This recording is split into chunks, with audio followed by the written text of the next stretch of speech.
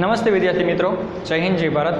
હું Amit Vegad faculty of OMVM college આજે SY BCom corporate અકાઉન્ટના chapter number four accounts of underwriting કમિશનના sum number ટુનું calculations કરાવવા જઈ રહ્યો છું. તો પ્રેક્ટિકલ ક્વેશ્ચન્સમાં જતાં પહેલાં આપણે રકમ જોઈ લઈએ.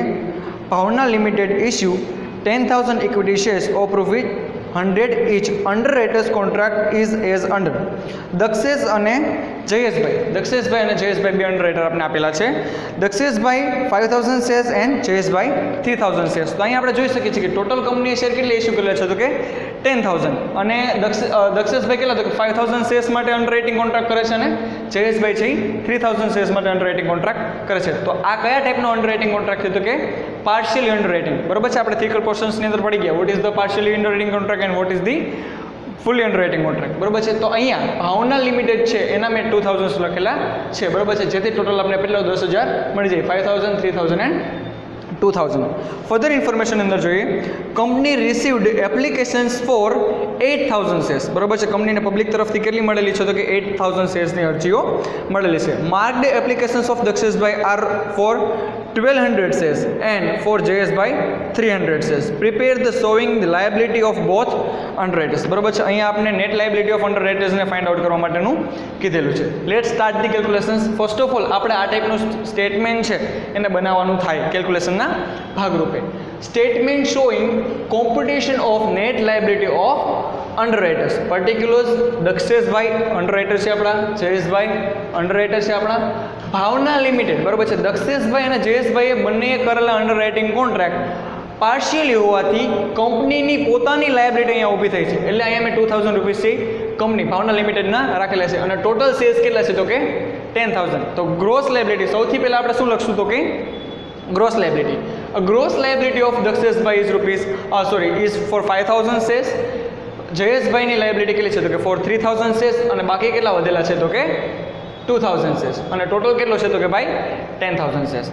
Now what is the next step first of all we have to detect or less here marked application you all know that what is the meaning of mark application what is mean તો કે જે under writers છે, એના રેફરન્સથી જેટલા shares purchase થાય છે. બરોબર છે? અને આપણે આપણા થિયરિકલ પોર્શન્સની અંદર ઇમ્પોર્ટન્ટ નોટ્સની અંદર પણ જોઈ ગયા છીએ કે માર્કડ એપ્લિકેશન છે શું થશે? તો કે એની જે ગ્રોસ લાયબિલિટી છે, એમાંથી શું થશે? તો કે અહીંયા માઇનસ થશે. તો કંપનીએ ટોટલ આપણે રકમમાં જોયું, એ મુજબ કેટલી તો કે એઇટ થાઉઝન્ડ એપ્લિકેશન્સ છે રિસીવ કરેલી છે. જેની અંદર twelve hundred mind application received from Daksheshbhai reference and three thousand applications process is received from the Jayeshbhai reference બરોબર છે? તો એને આપણે અહીંયા શું કહીશું તો કે એને ડિડેક્ટ કરશું. તો sum total of both these કેટલા થશે તો કે ભાઈ ફિફ્ટીન હંડ્રેડ છે. તો અહીંયા five thousand minus 1200 that is 3800 shares remaining liability of Dakshesh bhai 3000 shares minus 300 shares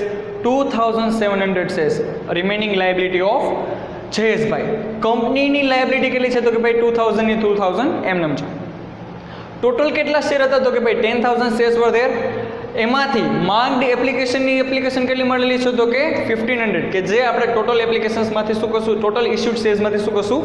minus કરશું. તો ten thousand shares minus one thousand five hundred shares of marked application from receive from the Daksheshbhai and Jayeshbhai reference reference is the eight thousand five company received company received eight thousand shares application બરોબર છે? તો અનમાર્કડ application આપણે જોઈ ગયા અનમાર્કડ applications means what તો કે કંપનીએ પોતાની જાતે, બરોબર છે? પબ્લિકને જે શેર સેલ કરેલા છે, એને આપણે શું કહેશું તો કે અનમાર્કડ એપ્લિકેશન્સ અને એ આપણે કઈ રીતના મળશે તો મેં એને ફાઇન્ડ આઉટ કરેલું છે. Total received application from public that is the eight thousand shares એમાંથી દક્ષેશભાઈની માર્કડ એપ્લિકેશન માઇનસ કરશું. જે રકમ વધશે એમાંથી જયેશભાઈની માર્કડ એપ્લિકેશન્સ માઇનસ કરશું. અને જે આપણે મળે છે એ શું છે? તો કે બાય અનમાર્કડ એપ્લિકેશન તો અહીંયા eight thousand minus twelve hundred minus three hundred that is six thousand five hundred unmarked application હવે તમે જોઈ શકો છો અહીંયા કે કંપનીની લાયબિલિટી કેટલી હતી તો કે for the two thousand shares બરાબર છે?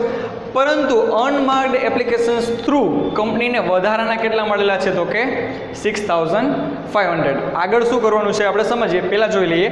Eight thousand five hundred minus six thousand five hundred liability હવે કેટલી રહેશે તો કે ભાઈ ટુ થાઉઝન્ડ શેર્સ કઈ રીતે? તો કે ભાઈ ટ્વેલ્વ હંડ્રેડ શેર્સ છે દક્ષેશભાઈના રેફરન્સથી મળી ગયા છે? થ્રી હંડ્રેડ શેર્સની એપ્લિકેશન છે. જયેશભાઈના રેફરન્સથી મળી ગઈ છે અને સિક્સ થાઉઝન્ડ ફાઇવ હંડ્રેડ છે. કેના તો કે ભાઈ કંપનીના પોતાના રેફરન્સથી અથવા તો પ્રોસ્પેક્ટસ થ્રુ એને મળી ગયેલા છે. તો ટોટલ ઇશ્યુડ શેર્સ કેટલા હતા? તો કે ten thousand minus twelve hundred minus three hundred minus six thousand five hundred એટલે કે eight thousand received by company બરોબર છે? તો હવે વૈધા કેટલા? તો કે ભાઈ લાયબિલિટી તમે જોઈ શકો છો કે અહીંયા ટુ થાઉઝન્ડ શેર્સની રિમેનિંગ રહે છે. આડત્રીસો ને આડત્રીસો થ્રી થાઉઝન્ડ એટ હંડ્રેડ અહીંયા નીચે ટુ થાઉઝન્ડ સેવન હંડ્રેડ અહીંયા, અને two thousand minus six thousand four hundred એટલે કે minus four thousand five hundred આને કહેશું આપણે શું? તો કે ભાઈ surplus in the account of company કંપનીની લાયબિલિટી કેટલી હતી? For the two thousand but six thousand five hundred unmarked application બરોબર છે કે જે દક્ષેશભાઈના રેફરન્સથી પણ નથી મળેલી અને જયેશભાઈના રેફરન્સથી પણ નથી મળેલી. બરાબર છે? તો વધારો કેટલો? સરપ્લસ આપણે જોઈ ગયા ને થિયરીમાં કે સરપ્લસ કોને કહેશું તો કે કંપનીની પોતાની લાયબિલિટી કરતાં વધારે અમાઉન્ટની અંદર એણે કંપનીની શેર્સની એપ્લિકેશન રિસીવ કરેલી છે. This is the surplus in the account of company and two thousand is net liability બરાબર છે? તો હવે અનમાર્ક્ડ એપ્લિકેશનનો પોઈન્ટ આપણે જોયો હતો થિયરીની અંદર. બરોબર છે? કે excess of application transfer to Dakshesh and Jayesh. કંપનીની અનમાર્ક્ડ એપ્લિકેશન્સ છે એનો ફાયદો. આપણે કોને આપશું? તો કે અંડર રાઇટર્સને પોતાની લાયાબિલિટીને રિડ્યુસ કરવા માટે અનમાર્ક્ડ એપ્લિકેશન્સ છે આપણે એના કયા પોર્શનની અંદર? તો કે ગ્રોસ લાયબિલિટીના પોર્શનની અંદર કેટલો થશે? ફાઇવ ઇસ ટુ થ્રી અહીંયા ફાઇવ ઇસ ટુ થ્રીના પ્રપોર્શનની અંદર આપણે શું કરશું તો કે એને બાયફર્ગેટ કરશું. Four thousand five hundred into five divided by eight તમે કરશો. Sum of both these two five plus three is equal to eight બરોબર છે? તો four thousand five hundred into five divided by eight કરશો એટલે તમને two thousand eight hundred twelve point five મળશે પરંતુ કોઈ એપ્લિકેશનને આપણે અધૂરી ના લઈ શકીએ ને, હાફનો લઈ શકીએ. એટલે અહીંયા કેટલા લીધા છે? Two thousand eight hundred and thirteen. And four thousand five hundred into three divided by eight તમે કરશો. એટલે તમને કેટલા મળશે તો કે ભાઈ સિક્સટીન પોઈન્ટ એટી સેવન તમને મળશે. તો આ શું થયું તો કે ભાઈ અનમાર્ડ એપ્લિકેશનનો લાભ, એટલે કે એનો બેનિફિટ આપણે કોને આપ્યો? તો કે અંડર રાઇટર્સની લાયબિલિટીને રિડ્યુસ કરવા માટે આપણે આપ્યો. બરાબર છે? તો three thousand four thousand five હંડ્રેડને કેટલા તો કે ભાઈ two thousand eight hundred and thirteen અને સિક્સટીન હંડ્રેડ એન્ડ સેવન્ટી આ બેનો ટોટલ કરશો એટલે તમને કેટલા મળી જશે? તો કે ભાઈ ફોર થાઉઝન્ડ ફાઇવ હંડ્રેડની અમાઉન્ટ તમને મળી જશે. કે આ શેરનો બેનિફિટ આ અનમાર્ક્ડ એપ્લિકેશનનો બેનિફિટ અંડર રાઇટર્સની લાયબિલિટીને શું કરવા માટે આપણે આપેલો છે? તો કે એને બેનિફિટ એના માટે આપેલો છે. તો three thousand eight hundred minus two thousand eight hundred and thirteen we will get 9800 and uh, sorry 987 shares and 2700 minus 1687 that means 1013 application બરોબર છે? આને આપણે શું કહેશું તો કે નેટ લાયબિલિટી કહેશું. અને આ બંનેનો ટોટલ તમે કરો. બરોબર છે? ટુ થાઉઝન્ડ તમને મળી જાય. Eight thousand nine hundred and eighty seven and one thousand and thirteen એપ્લિકેશન્સનો total તમે કરશો એટલે તમને ટુ થાઉઝન્ડ મળી જશે. કે જે શું છે તો કે ભાઈ ટેન થાઉઝન્ડ શેર્સ ઇસ્યુ જે કરેલા છે, એના માટેની નેટ લાઇબિલિટી કોની બને છે? તો કે દક્ષેશભાઈની nine hundred and eighty seven બને છે અને જયેશભાઈની કેટલી બને છે. તો કે ભાઈ one thousand and thirteen shares કોને પરચેસ કરવાના રહેશે? તો કે ભાઈ દક્ષેશભાઈએ અને જયેશભાઈ પરચેસ કરવાના રહેશે. I hope you all get understand this sum બરોબર છે? આના પછીના લેક્ચરમાં આપણે સમ નંબર થ્રી અથવા તો અધર પ્રેક્ટિકલ પોર્શન્સને જોશું. Thank you very much